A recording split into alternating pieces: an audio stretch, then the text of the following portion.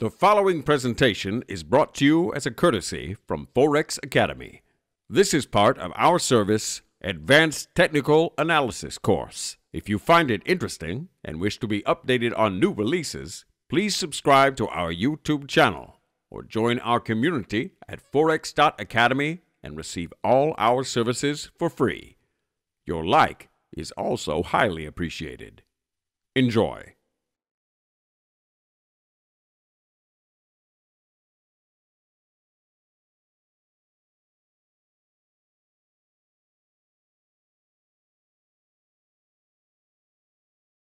Hello, everybody, and welcome to another installment of the live advanced technical analysis course.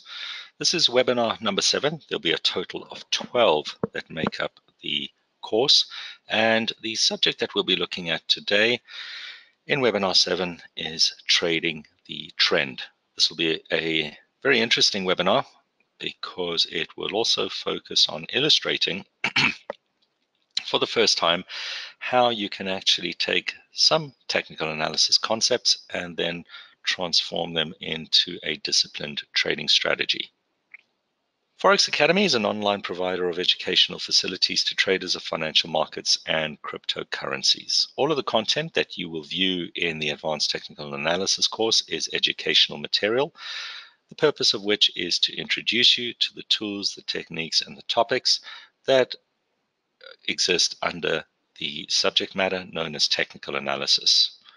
Once you are familiar with these applications, you can then consider incorporating them into your analysis and your trading techniques to assist in improving your overall overall ability to make more improved decision making uh, decisions within the marketplace. Just a few housekeeping issues before we continue. Please feel free to ask any questions throughout the course of the webinar. You can locate your chat box on the right of the screen. I will obviously be able to see your questions. This is a live webinar. It is being recorded and will be placed in your members area once the webinar has concluded. As always, we'll be hosting an extended Q&A session at the end of this live webinar. The course overview has followed the same process this week as it did in week one, whereby from Monday through to Wednesday, we'll be introducing you to some educational material. Each week ends on a Thursday with a workshop which covers the material that we've looked at in the preceding three webinars and takes on a more practical application in terms of illustrating how to apply these tools and techniques to the marketplace course overview will follow the same routine next week. There will be an end of course workshop on Thursday. It will not only focus on the previous three webinars in terms of the material that we've covered, but will illustrate more comprehensively in terms of how you can look at incorporating a large chunk of the material that we've covered through the entire course in terms of developing a more disciplined approach to both analyzing and trading the financial markets. In today's webinar, we'll be focusing a lot of our attention on how to trade the trend.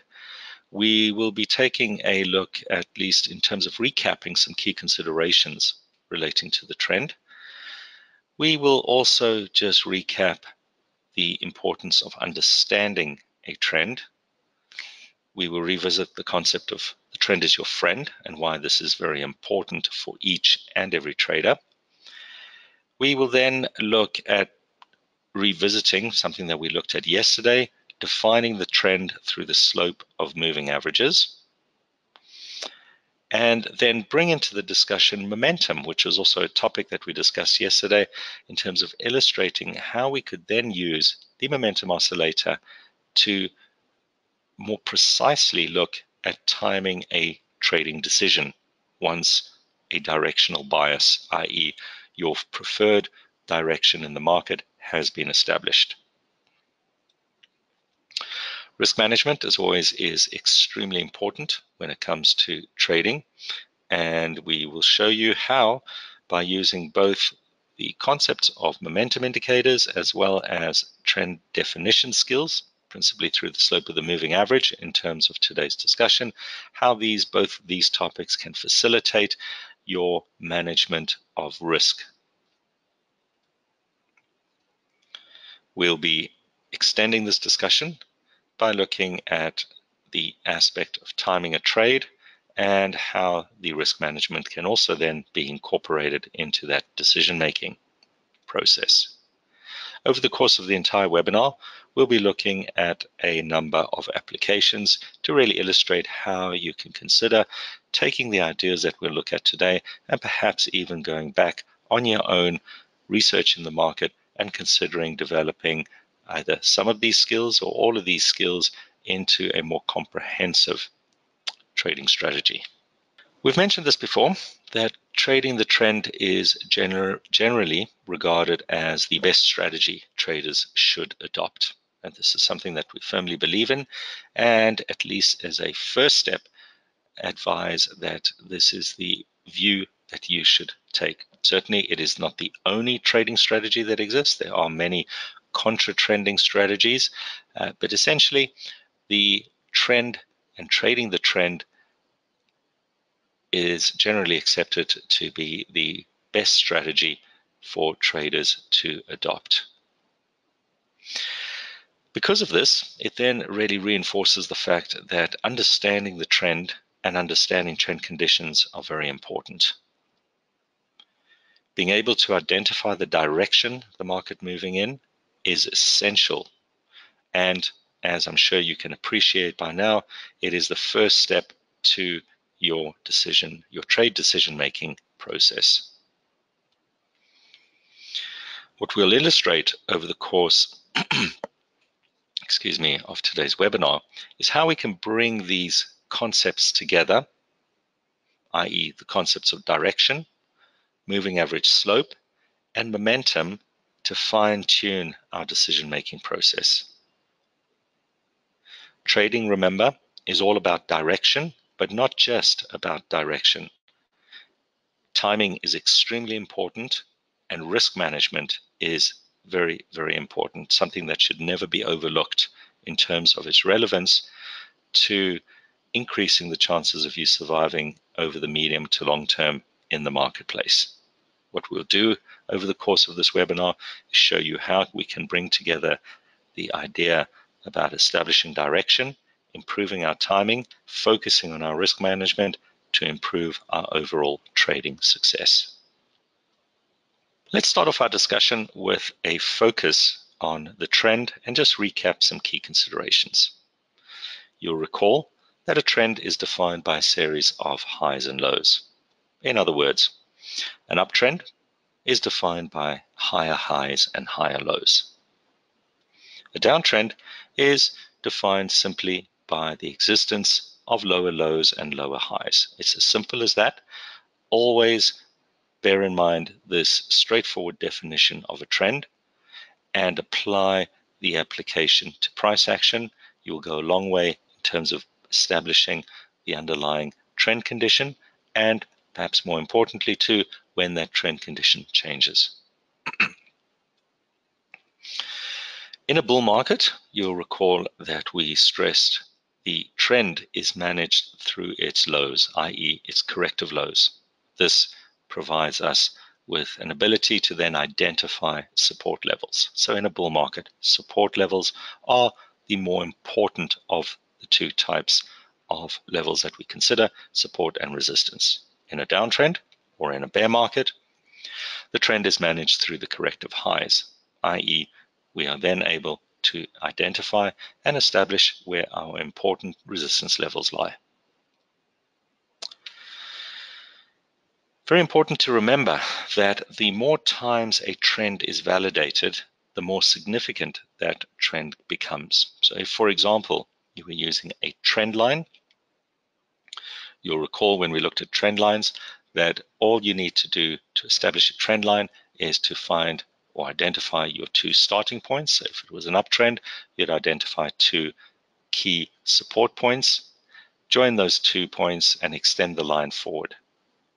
If you can see that on a number of occasions the trend line has actually been tested, i.e. price action is pulled back to the trend line and has held a support resulting in a subsequent reaction to the upside in price action, then the more times that condition has developed over the lifespan of the trend and the trend line, the more significant that trend becomes.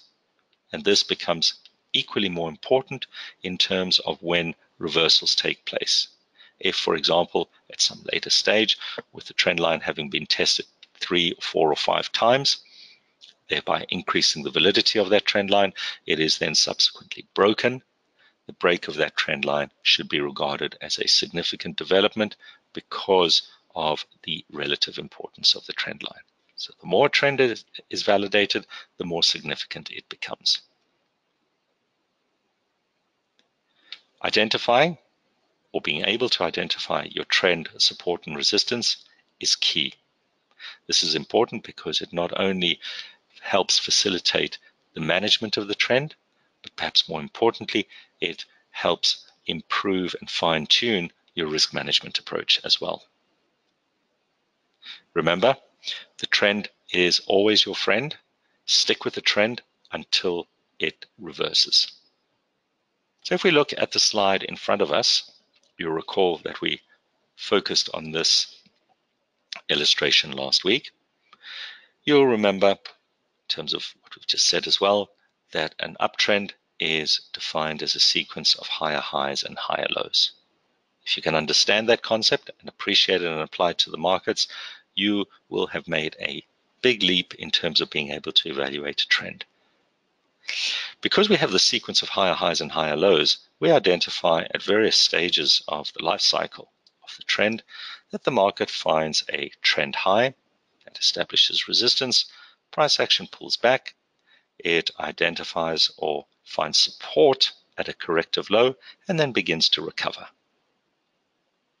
The market then travels to a particular point and repeats this process. A trend high exists, a correct, corrective low identifies the point where demand begins to start pushing prices higher and the market then continues to travel in a northward direction registering fresh trend highs. These sequence of higher highs and higher lows help us identify or allow us the opportunity to identify these important corrective lows. Remember, an uptrend is defined through its corrective lows, i.e. support. So these two levels will be critical going forward one as the trend continues to push in an upward direction. Certainly, once we've identified a corrective low and the market has broken above this trend high, then this support level falls away in terms of the trend management and this support level becomes the relevant point in which we gauge the existence or the strength of the current uptrend. As long as the sequence of higher highs and higher lows is maintained, the trend is assumed to be up. Very important that you always come to that type of conclusion. Certainly, the opposite will exist when we are dealing with the downtrend. Now, you'll recall from the recent discussions that we've had, whereby the market travels to this trend high, finds support once again, which is perfectly normal condition. We expect that to happen. Prices then start to push higher. However, in this instance, they find resistance at this particular point over here that prevents an ability to move above the former trend high. In other words, to maintain the sequence of higher highs and higher lows. Instead, price action begins to move lower and eventually breaking below the last or the most recent corrective low. When that happens, the trend condition has changed. We have gone from witnessing a sequence of higher highs and higher lows to now seeing the development of a sequence of lower lows and lower highs. In other words, from a directional perspective, the market has moved from up to down. Very important that you become comfortable with being able to evaluate trend direction in this manner. You're able to establish the two components. What needs to exist for a trend to remain intact, and then subsequently what needs to occur to suggest that the trend is under threat or perhaps has even already reversed in the opposite direction. Let's take a look at this illustration in front of you.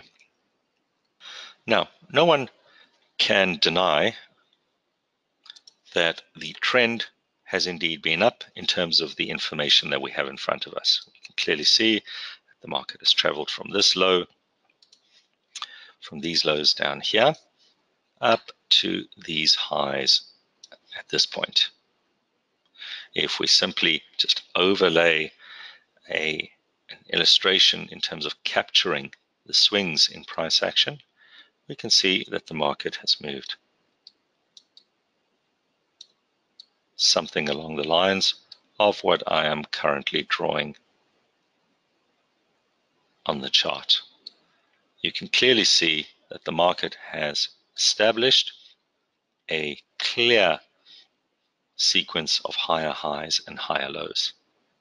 Each time the market pulls back, the former key support levels or the former corrective low is unchallenged. In other words, it remains intact that simply needs to exist if we are dealing with an uptrend. So you can see by a number of the support levels that have been highlighted, in other words, the corrective lows, on each subsequent pullback, the last corrective low has remained intact.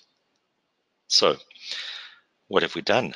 At this point in time, we've been able to establish the direction of the trend, i.e. the trend is up, through the observation that a sequence of higher highs and higher lows exist. what we've also then been able to identify, because we understand the concept of the sequence of highs and lows that defines an uptrend, is to then seek out our key support levels. These support levels represent the corrective lows every time the market pulls back. Now, clearly there are a number of corrective lows just highlight a few over here. What we've simply done in this explanation or in this example is to highlight the key turning points. And that's really, that should be your starting point. If we then, if we then explore in perhaps more detail the move from this low to this high over here, then certainly these corrective lows become relevant to this current leg. In other words, you could consider it as an internal observation, an internal trend observation of the broader bull trend. And you apply, simply apply the same logic and the same explanation. A sequence of higher highs and higher lows exists. That ability to identify the trend through that definition then allows you to identify your support levels. So, establish the direction of the trend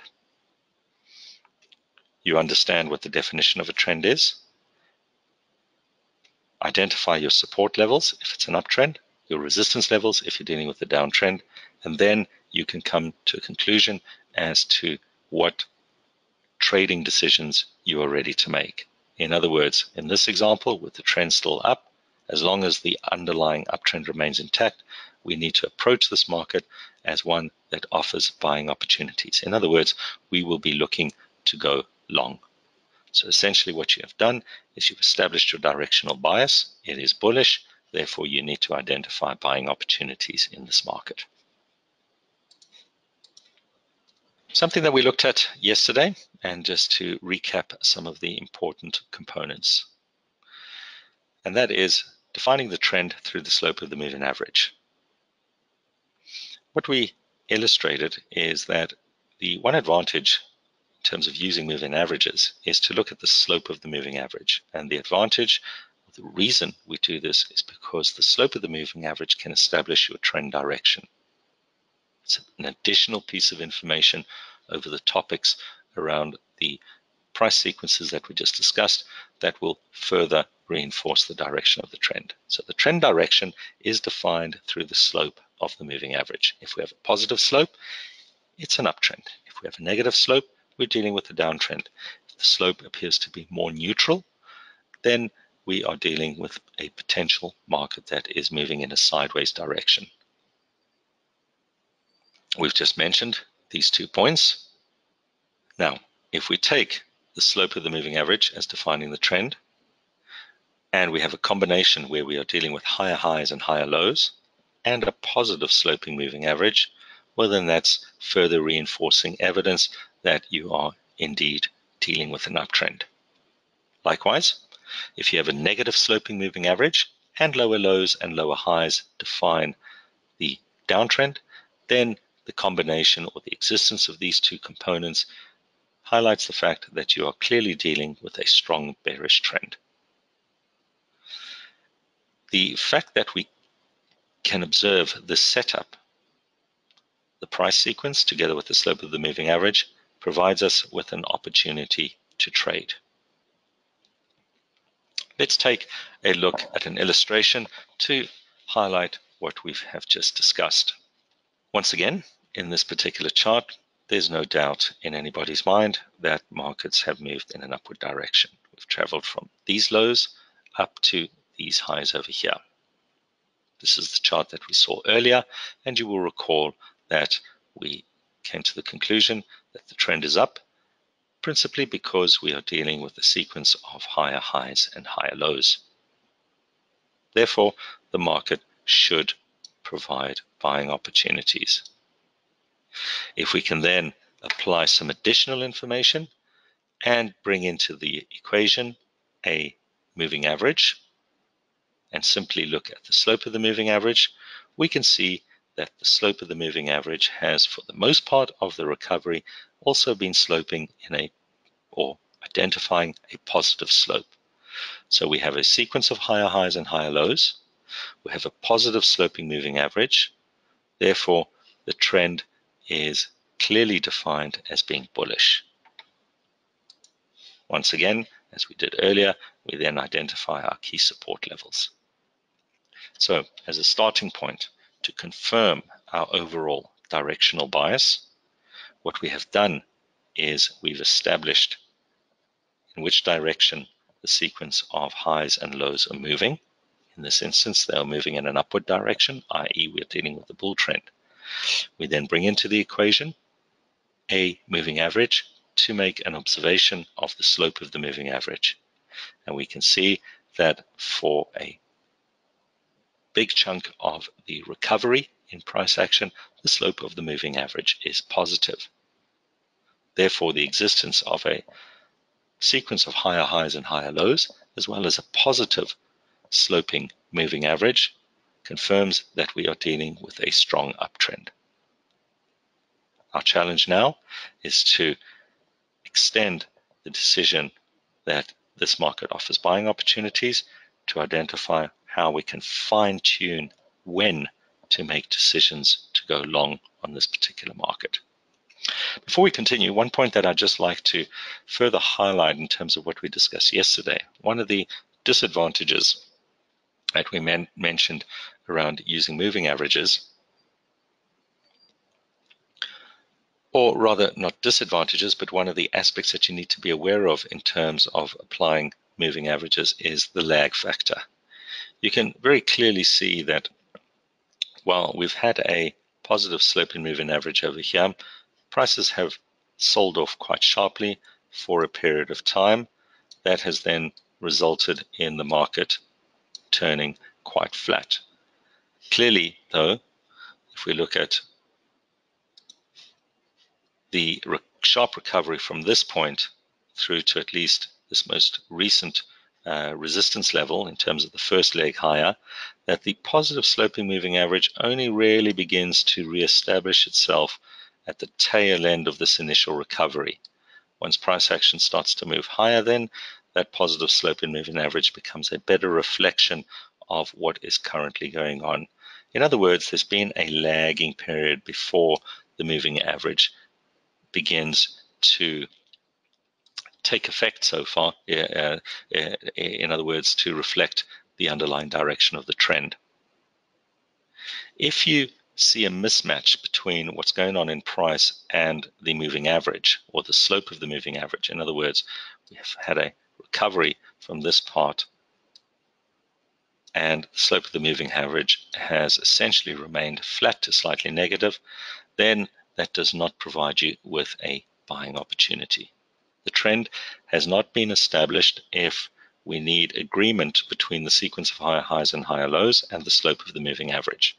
However, once the slope does start to take a positive nature in terms of its slope, then you can begin to consider looking for buying opportunities. So the early stage of a trend recovery in this instance will be difficult to trade because of the two components that we're looking at. However, if we look at the remainder of the life cycle of the trend, it lasts for long enough and hence gives us a number of opportunities to consider going long. Let's now look at how we can extend the discussion, given that we've been able to establish our directional bias, how we can improve on timing that directional bias. In other words, looking to time a trade, and what we'll be doing is we'll be using momentum for this purpose. As you recall from yesterday, momentum is a generic term for many related indicators. In yesterday's discussion, we looked at the relative strength index as well as the stochastic oscillator.